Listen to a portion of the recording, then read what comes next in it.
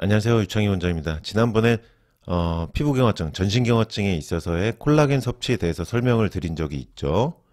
지금 여기 이제 이 그림은 뭐냐면은 어, 콜라겐 이 가운데 그림이 이제 콜라겐 분자를 표시한 그림입니다.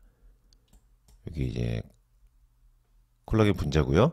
요거는 콜라겐 아미노산 서열을 보여주고 있는 것이고 요게 이제 콜라겐 이제 섬유 다발을 보여주고 있는 건데요.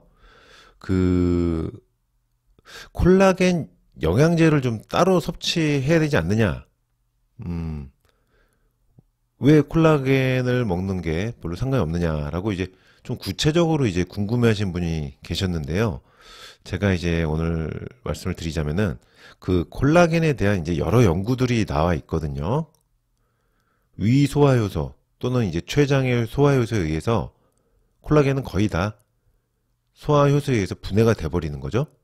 섭취했을 때. 그래서 콜라겐이 피부까지 도달하는 효과는 거의 미미하다고 볼 수 있는 것이죠. 그래서 콜라겐을 섭취하는 것은 피부경화증에 어떤 영향도 주지 않는 것으로 보시면 되겠습니다. 그러니까 콜라겐을 따로 드시는 거, 그러니까 드시지 않는 거, 뭐 그걸 떠나서 콜라겐 섭취하는 것 자체가 피부경화증, 전신경화증에 영향이 없다. 왜?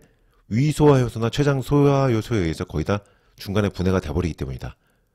콜라겐은 입으로 섭취했을 때 피부까지 가는 효과가 거의 미미한 것으로 여러 연구에 나와 있기 때문이다. 라고 설명을 드릴 수 있겠습니다. 유창길 원장이었습니다.